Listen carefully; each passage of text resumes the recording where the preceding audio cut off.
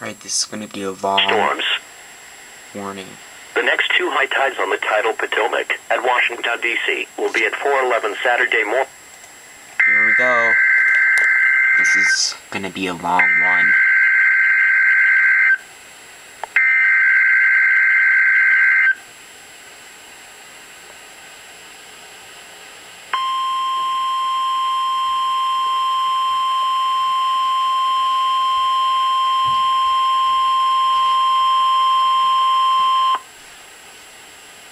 The National Weather Service in Sterling, Virginia has issued a severe thunderstorm warning for the District of Columbia, southeastern Montgomery County in central Maryland, northern Charles County in southern Maryland, City of Fairfax in northern Virginia, City of Falls Church in northern Virginia, City of Manassas in northern Virginia, Arlington County in northern Virginia, City of Manassas Park in northern Virginia, City of Alexandria in northern Virginia, Prince William County in northern Virginia, Northern Stafford County in northern Virginia, Western Prince George's County in central Maryland, Eastern Fauquier County in northern Virginia, Fairfax County in northern Virginia, until 7.30 p.m. At 6.46 p.m., severe thunderstorms were detected along a line extending from Bull Run to 11 miles southwest of Triangle, and were moving east at 45 miles per hour.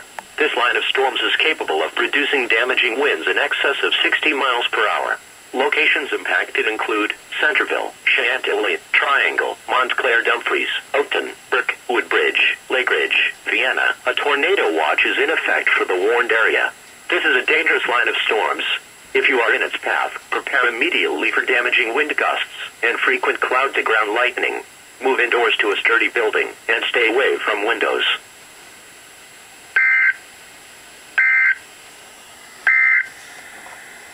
The next two high tides on the tidal Potomac. And the radar. And so basically, all the greater Washington area. So it's now officially in the Baltimore, Washington area.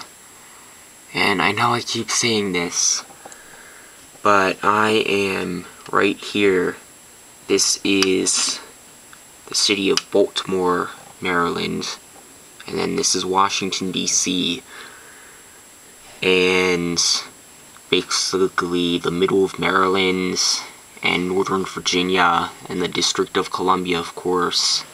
And then the eastern panhandle of West Virginia is the Baltimore, Washington combined metro area or whatever. So, uh, the worst of it is coming close to here.